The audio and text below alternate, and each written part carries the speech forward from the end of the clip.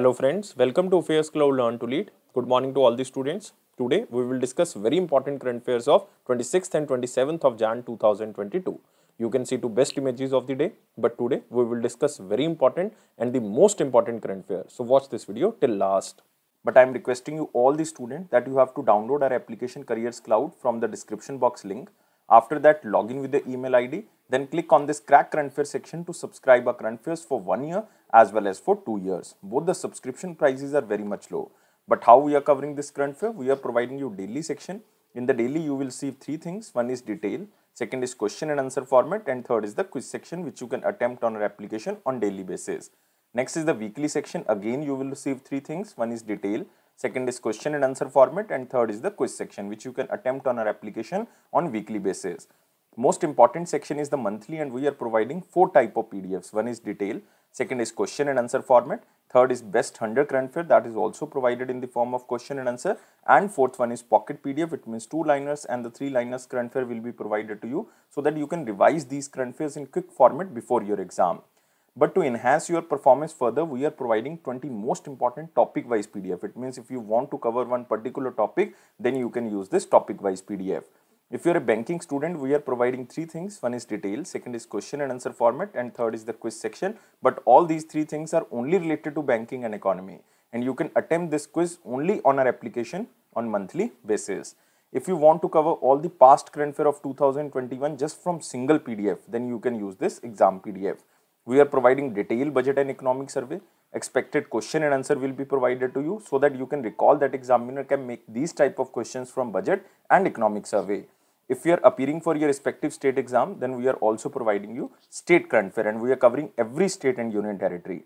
So all these things comes under only one subscription. You have to just download our application Careers Cloud from the description box link. After that, log in with the email ID. Then click on this crack current affair section to subscribe our current affairs for one year as well as for two years. Both the subscription prices are very much low.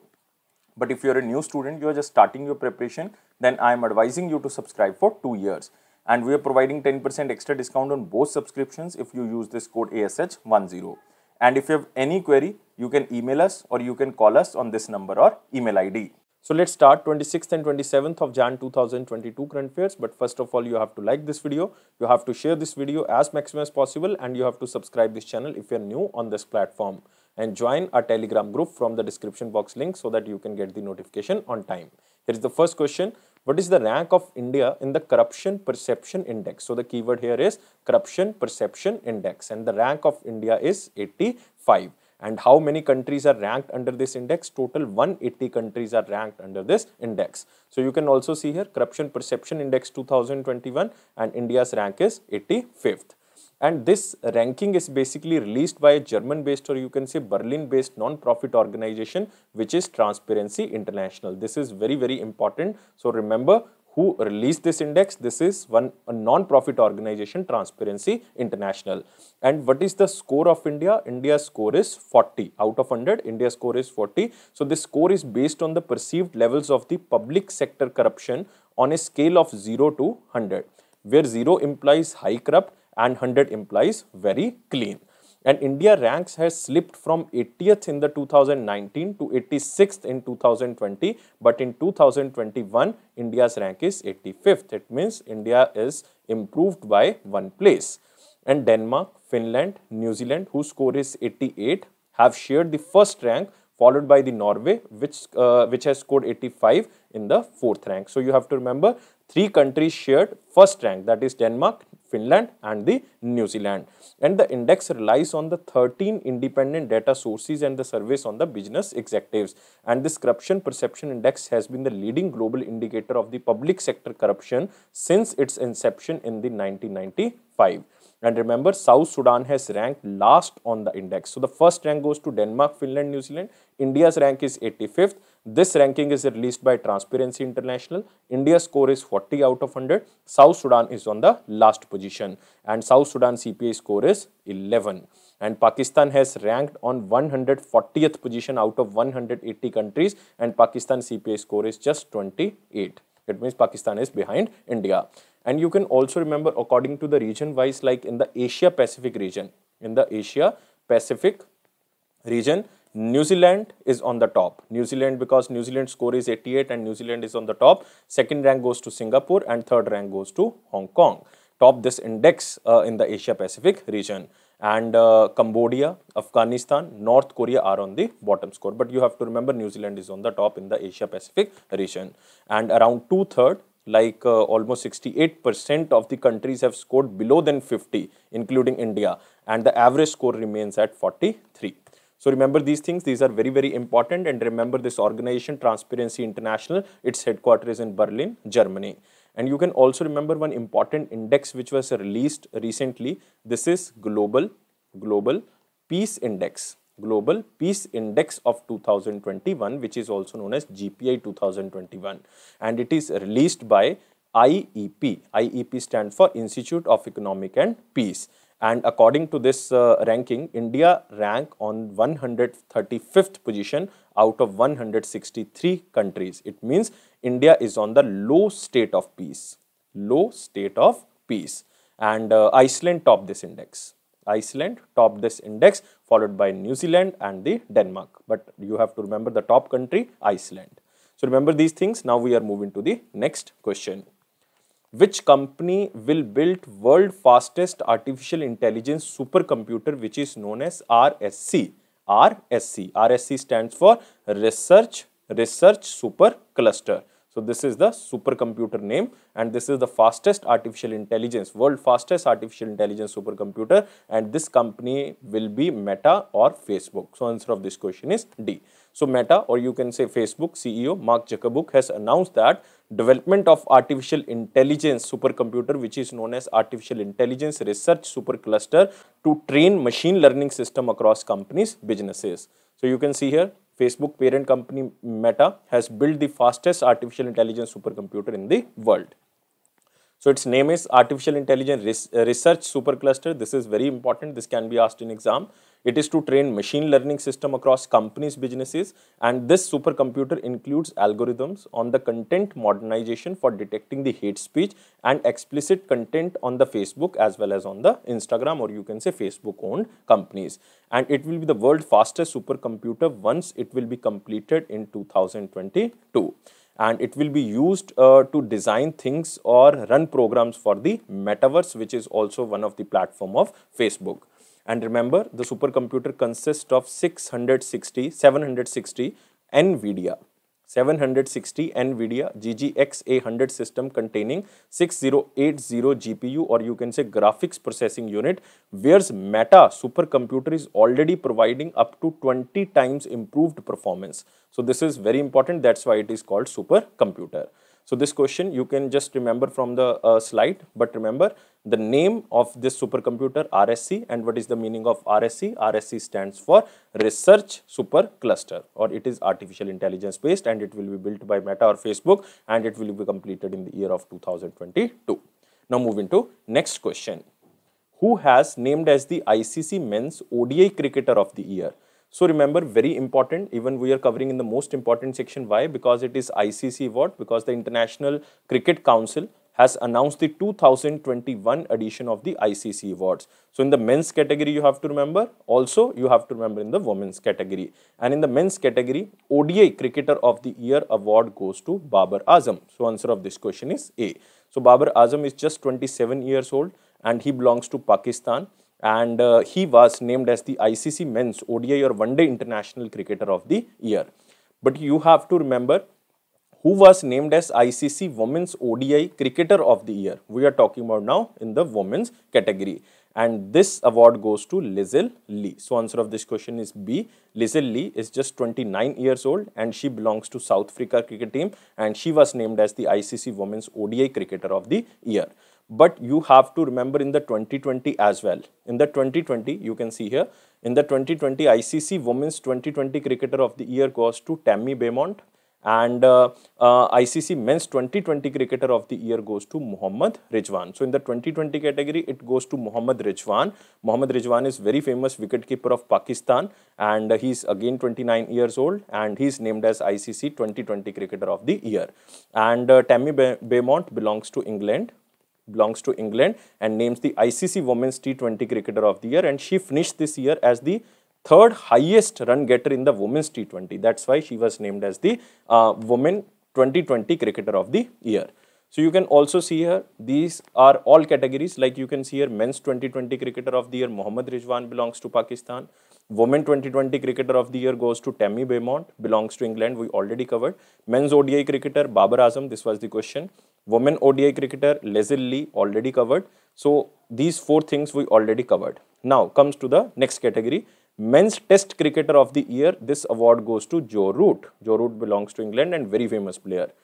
Emerging Men's Cricketer of the Year, it is goes to Janneman Malan, from belongs to South Africa. And Emerging Women Cricketer of the Year goes to Fatima Sana, belongs to Pakistan. Remember, Fatima Sana. But in the first row, you can see the name is appearing Smriti Mandhana. So this is very important player because Rachel Heyhoe Flint Trophy for ICC Women's Cricketer of the Year goes to Smriti Mandhana belongs to India. This trophy is very very important and she is just 25 years old and she won Rachel Heyhoe Flint Trophy for ICC Women's Cricketer of the Year. This can be asked by examiner. So this is most important question. So remember all the categories, especially these four categories are very, very important. And you can also remember these categories like Men Associated Cricketer of the Year, uh, Zeeshan Maqsood, and he belongs to Oman, but don't uh, don't remember, just read this. Woman Associate Cricketer of the Year, Andrea-Mae Zepeda, uh, she belongs to Austria.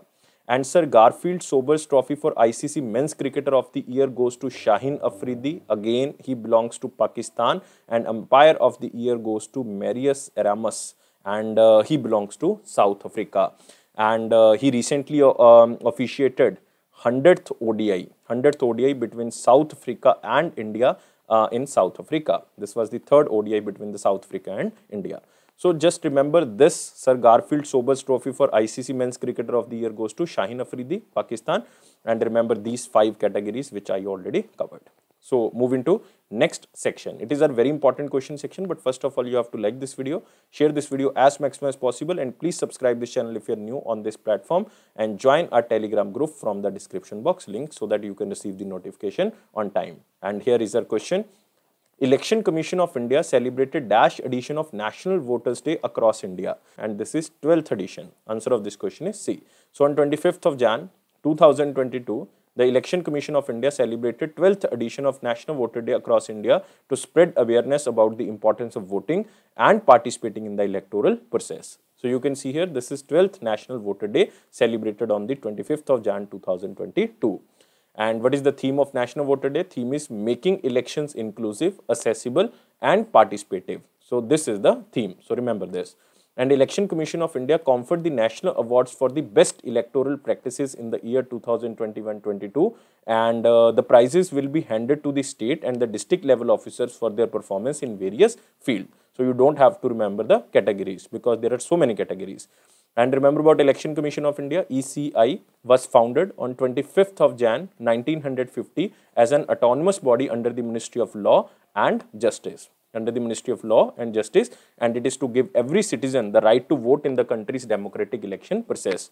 And remember National Voter Day was first celebrated in the year of 2011 to encourage active participation in India's electoral process because the turnout was very much low. That's why this day was started. And uh, Election Commission of India also focuses on enrollment of new voters who have attained the 18 years of age providing voting rights under the universal adult suffrage or universal adult franchise.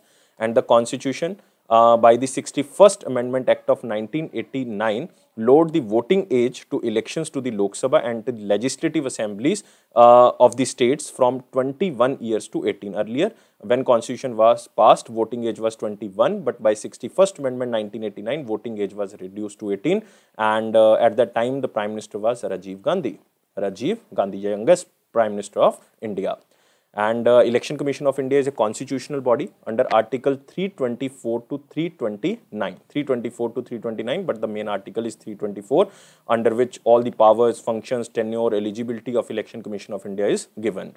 And Election Commission of India is a three-member body under which one is the Chief Election Commissioner and two are the other election commissioners. And currently Chief Election Commissioner is Sushil Chandra, Sushil Chandra and other election commissioners. One is Anup Chandra Pandey, Anup Chandra Pandey and second is Rajiv Kumar. So remember all the information which I told you. Now we are moving to the next question. Which country became the world largest exporter of cucumber as well as gherkins? So remember the keyword under this question, it is the world largest exporter of cucumber as well as the gherkins. So answer of this question is India. Answer of this question is B. So according to the Ministry of Commerce as well as Industry announced that India has exported almost 114 million dollar worth of cucumber as well as gherkin in April to October. In April to October 2021 and became the world largest exporter of cucumber and gherkins. And remember, cucumber I think all the students know, but gherkin is also known as pickled uh, cucumber, pickled cucumber. And it is made from the younger cucumbers that are seasoned using vinegar or acetic acid. So you can see here, world top exporter of cucumber as well as gherkin. This is cucumber, this is gherkin or you can say young cucumber and gherkins cultivation, processing and export started in India during the early 1990s in Karnataka and the later extended to the Tamil Nadu, Andhra Pradesh and Telangana or you can say it is exported from the South India. And Agriculture and Processed Food Products Export Development Authority is providing infrastructure and developmental support to the global market. Uh, this organization, this is very important, Agriculture and Processed Food Products Export Development Authority. This was established in the year of 1986 and its chairman is Dr. Dr. M. Angamuthu. Angamuthu. And its headquarters is in New Delhi. So just remember this question as same as in slide. Otherwise, uh, uh, one data is important like total export is 114 million dollar from April to October in 2021 and India became the world largest exporter of cucumber and gherkins.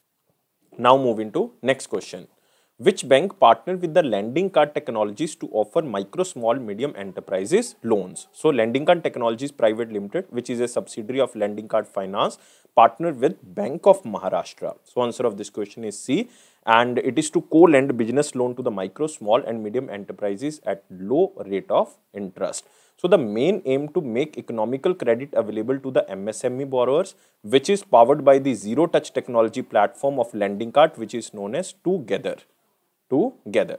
So you can see here Bank of Maharashtra and Lendingkart partner to offer small ticket, micro, small, medium industries loans. And you can see here the technology platform of Lendingkart together enable bank and non-banking financial company to distribute unsecured business loan up to rupees 10 lakh. So maximum to maximum loan can be given is 10 lakh and it is to MSME borrowers and uh, the distribution of loan in the co-lending arrangement will be under the priority sector lending. Under the priority sector lending which allows the loan to reach beneficiaries at an affordable cost or you can say low interest rate. And bank of maharashtra supports credit flow and using Lendingkart origination platform which is known as xlr8 to distribute msme loans which are sourced through multi-channel strategies. It means maximum loan or the credit will be provided through bank of maharashtra so now we are moving to the next question, but you can remember about Bank of Maharashtra. Bank of Maharashtra was established in the year of 1935. Its headquarters is in Pune, Maharashtra. Its MD and CEO is A.S. Rajiv. A.S. Rajiv and its tagline is Ek Parivar, Ek Bank. Ek Parivar, Ek Bank or you can say one family, one bank. Moving to next question. Which company launched India's first debit card with National Common Mobility Card for teens? It means for youngsters and this company is Pencilton. So answer of this question is D. So Pencilton which is a teen focused financial technology company in partnership with the Transcorp. Transcorp launched a pencil card, India's first debit card with the National Common Mobility Card for the youngsters or for the teens. And you can see here, this is Pencilton who launched a debit card with the National Common Mobility Card for the teens in partnership with the Transcorp. And Pencil card is a National Common Mobility Card compliant RuPay debit card specially designed for the teenager and it is launched with the help of National Payment Corporation of India because it is one of the RuPay debit card and it will serve as all-in-one card like debit card, metro card, bus card for the multiple needs for both online as well as offline payment. And Pencil card is also a platinum RuPay card with additional benefits like free access to the lounges at all airports in India and uh, uh, they can also be used for payments including the retail shopping, offline, online shopping, travel and also include tolls and the parking in the future. and pencil card can be activated through the Pencilton application. So this is very very important. So remember it is for teens and it is also a national common mobility card as well as it is also a metro card, it is also a debit card, it is also a bus card. So that's why this is very important. And remember this organization was established in Hyderabad, Telangana and its co-founder and CEO is Vishwajit. Vishwajit Pureti. Remember the name. Moving to next question. India's first graphene innovation center will be established in which state? So this question is very important because it is India's first graphene innovation center and this will be established in Kerala. So answer of this question is B. So you can see here Kerala gets the country's first graphene innovation center and the Digital University of Kerala has announced the partnership with the Center for Materials for Electronics and Technology in the Thrissur, Kerala to establish India's first graph graph Graphene Innovation Center in Kerala. And the Tata Steel is roped in as the industrial partner for this project. And various scientists from the National Graphene Institute, National Graphene Institute, the University of Manchester, and the other industrial partner will also collaborate in this project. Again, this is very important. And it will be India's first ever graphene research and development incubator. And the graphene has the potential to replace indium and it will lower the cost of OLED or organic light emitting diode screens in the smartphone. And the project will provide a wide range of commercial and the industrial application in the biomedical, in the biomedical, in electronics, in defense, in energy and sensors.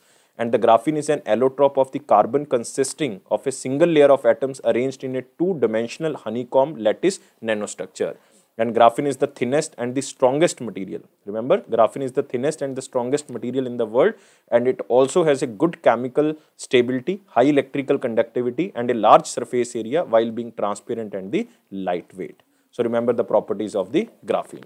So, we can move to the next question and remember about Kerala. Kerala's uh, governor is Arif Muhammad Khan.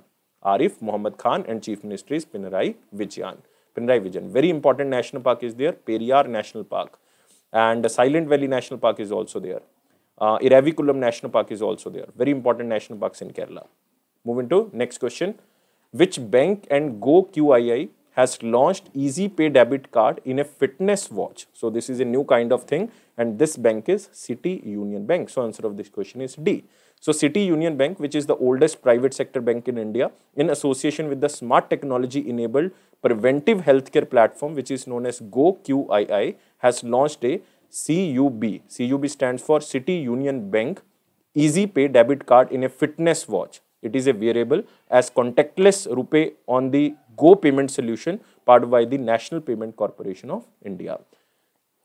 So you can see here City Union Bank launched this debit card in a fitness watch with the GoQII partnership. And you can see here customers can simply hold this wristwatch in the front of point of sale devices during payment like tapping card on the point of sale machines. And customer can raise a request for the fitness watch debit card through net banking or the mobile application and later the uses can be managed through the customer themselves through the CUB all-in-one mobile application. CUB stands for City Union Bank and the customer need to enter their PIN for the payments above rupees 5000 and can also set limits for their payment using the net banking or the mobile banking. And even SMS or short message service will be sent to the registered mobile number for each transaction done by each customer using the watch. And fitness watch also monitors the oxygen level, oxygen level, body temperature, heart rate, blood pressure and 18 exercise modes. So that's why this is very, very important. And even this uh, bank is very important because the City Union Bank had earlier launched debit card in a keychain, in a keychain which also enables the contactless payment on the Go solution. So remember about uh, City Union Bank, uh, it was established in 1904. Uh, its headquarters is in Tamil Nadu. Its MD and CEO is N. Kamakodi. N, comma, Kodi and tagline is trust and excellence.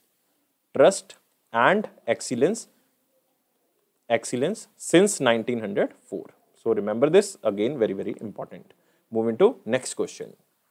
India and which country launched commemorative logo marking 30th anniversary of diplomatic relationship between India and this country? And this country is Israel. So answer of this question is C. So India and Israel launched a commemorative logo marking the 30th anniversary of the establishment of the diplomatic ties between the two countries which were established on 19th of Jan 1992. So 30 years completed between India and Israel.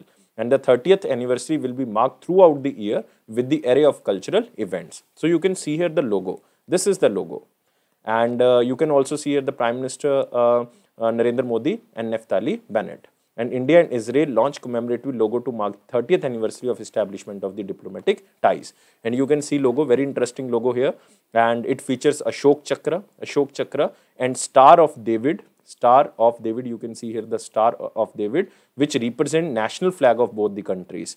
And it symbolizes the strong friendship, love and admiration that exist between the people of the two nations. It also depicts the growing strategies partnership and uh, it forms the numeral 30 depicting the 30th anniversary of the bilateral relation. So Shok Chakra is used and a Star of David is used which represent the national flag of both the countries. So remember this is Israel. Next is Ministry of Electronics and Information Technology released a roadmap and vision document 2.0 to cover dash worth of sustainable electronics manufacturing and exports together by which year? And answer of this question is total 300 billion dollar is the target of electronics manufacturing and exports and it will be achieved by the year of 2026 so answer of this question is a so union minister ashwini vaishnav released this uh, vision document which is known as vision document 2.0 to cover 300 billion uh, sustainable electronics manufacturing export by the year of 2026 so remember this uh, data and uh, it is the first volume titled Increasing India's Electronics Export and Share uh, was released in the November 2021. So that's why it is very important. And the document was envisioned uh, 300 billion dollar electronics production which aims to increase India's electronics export to 100 billion dollar by 2026 from the current 15 billion dollar. It means out of 300 billion dollar, 120 billion dollar should be export by the year of 2026 and 118 billion dollar should be the manufacturing of electronics products by the year of 2026 and currently it is 50, 65 billion dollar is the manufacturing and 15 billion dollar is the export. So this is the current worth and mobile manufacturing is expected to cross 100 billion dollar annual production in 2025-26 and current it is 30 billion dollar.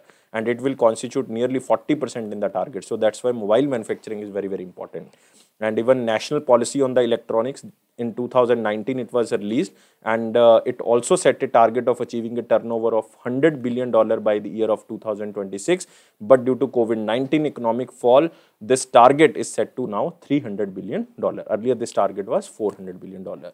So remember this exact data you have to remember. Examiner can ask only the data here. Move into next question and you can also remember union minister of electronics and information technology is uh, ashwini vaishnav ashwini vaishnav is currently the member of rajya sabha from odisha Next is uh, important question section, but you have to like this video, share this video as maximum as possible and please subscribe this channel if you are new on this platform and join our telegram group from the description box link. Here is the question. India has paid dash in the United Nations regular budget assessment for the year 2022. Not very important, we are covering in the important section because you have to just remember the data here and exact data is $29.9 million. So answer of this question is B. So you can see here India pays USD 29.9 million in the United Nations regular budget assessment for the year of 2022 and India has signed up for the 2022 honor roll of 24 member states out of 193 that have paid their United Nations regular budget assessment in full. And on 21st of Jan 2022, 24 member states of the United Nations have paid their regular budget assessment in full and India is a non-permanent member currently of United Nations Security Council because in the United Nations Security Council total 15 members are there. Out of 15, 5 are permanent members and 10 are non-permanent members. And time period of non-permanent member is 2 year and India is now a non-permanent member of United Nations Security Council whose time period will end on 31st of December 2022 because India become the non-permanent member on 1st of Jan 2021 and India's time period is till 2022 31st of December. So remember this and remember United Nation. United Nation was established in the year of 1945. Exact date is 24th of October and uh, member states are 193 countries. Secretary General is Antonio Guterres. Headquarters in New York and remember United Nations General Assembly current president is Abdullah Shahid. Abdullah Shahid. This is very important appointment of 2021. Moving to next question. Remember this question from picture. Sydney Olympic rings champion Szilveszter Csollány passed away. He belongs to Hungary. He was just 51 years old and uh, he was winner of gold medal in the men's ring in the 2000 Olympics which was held in Sydney. So that's why this player is very important for Hungary. And he was a six-time medalist like one gold medal, one silver medal, four bronze medal in the European Gymnast Championship and uh, he won the silver medal in the men's rings in 1996 Olympics which was held in Atlanta. So won the silver medal in Olympics in 1996, won the gold medal in Olympics in 2000 and he recently died due to COVID-19 infection. And he has won the Hungary Sports Person of the Year award in year of 2000 as well as in year of 2002. That's why this player is important. Just remember the name Szilveszter Csollány and uh, he belongs to Hungary and he was very famous ring player. He was also awarded as a sportsman of the year in the year of 2000 and 2002. Moving to our one-liner important point, here is the first point. Uh, Sydney Olympic ring champion Szilveszter uh, passed away. Already covered this question. India become world largest exporter of cucumber and the gherkins. Already covered. Pencilton launched a debit card with the NCMC for the teens. Already covered. Uh, Meta or the Facebook built fastest artificial intelligence computer RSC in the world. Again covered. Mansukh Mandavia launched revamped CGHS website and mobile application MyCGHS. So what is the meaning of this CGHS? It stands for Center Government Health Scheme and uh, Mansukh Mandavia ji launched a website as well as mobile application. So uh, this have multiple user friendly features and the website was developed uh, in accordance with the guidelines for the Indian government website in compliance with the usable user-centric and universal accessibility. And this revamped uh, website is aimed at benefiting more than 40 lakh citizens, both in service as well as, as, well as retired personnel, with real-time information from the convenience at their home and it is it is equipped with the uh, features such as the teleconsultation and the made available in the bilingual like Hindi and English. So e Sanjeevani teleconsultation facility is now directly linked with this application or website. So just remember this is just a readable point, not important, but you can read this. National Tourism Day observed on uh, 25th of January. So just remember about this day. And what is the theme of this day? Theme is rural and community centric tourism. This day is observed to create awareness of the importance of traveling and protecting nature. And the day aims to highlight the role of tourism sector in the overall economy of India. And the Ministry of Tourism celebrate the National Tourism Day 2022 under the Azadi Ka Amrit Mahotsav because we are celebrating the 75th year of independence in the 2022. And who is the Union Minister of Ministry of Tourism? It is G. Kishan Reddy. G. Kishan Reddy, whose constituency is Sikandrabad. Sikandrabad is in Telangana. So remember National Tourism Day theme is rural and community centric tourism. Moving to next question. It is the question of the day. What was the question of 25th of Jan? Uh, the BFS was constituted in. First of all, uh, in the yesterday question we covered what is the meaning of BFS. BFS means Board for Financial Supervision and it was created in the month of November in 1994. So answer of this question is B and it is to supervise the money market institutions in the country and this uh, uh, board for financial supervision has been constituted as an autonomous body under the reserve bank of india so now question of the day is linked with this that's why i'm not telling you the member of the bfs board is chaired by. The member of bfs board is chaired by whom? So you have to tell me what is the right answer. But give me the correct answer only in the comment box. I'm waiting your answer. Please like this video. Please share this video as maximum as possible and please subscribe this channel if you are new on this platform and join our telegram group from the description box link and press this bell button so that you can receive the notification on time. But it is AffairsCloud promise that it will boost your confidence in the general awareness section. Definitely. Don't take life so much serious. Life is fun. Always be happy like this smiley. Thank you guys. Take care and bye bye